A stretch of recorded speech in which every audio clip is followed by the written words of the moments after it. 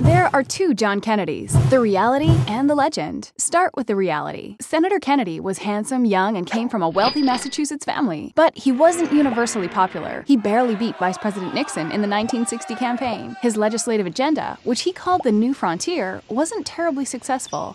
He couldn't convince a Democratic Congress to create a national health insurance program, and he did little to advance the civil rights movement. Many people thought Kennedy was woefully unprepared to handle foreign policy, and he almost proved them right. His stumbling decisions regarding communist Cuba led to the 1962 Cuban Missile Crisis, which nearly triggered nuclear war. But he did stand up to the powerful Soviet Union and negotiate a truce ending the missile crisis. But when he was assassinated in November 1963, Kennedy became a martyr. The public's memory focused on his idealism. Ask not what your country can do for you. He implored Americans to ask not what your country can do for you, ask what you can do for your country. Part of that plea was answered through the founding of the Peace Corps. He announced stirring plans to put a man on the moon. He reached out to the public through the medium of television in a way no president had done before. The charismatic Kennedy inspired a generation of public servants. That, more than anything, was his legacy.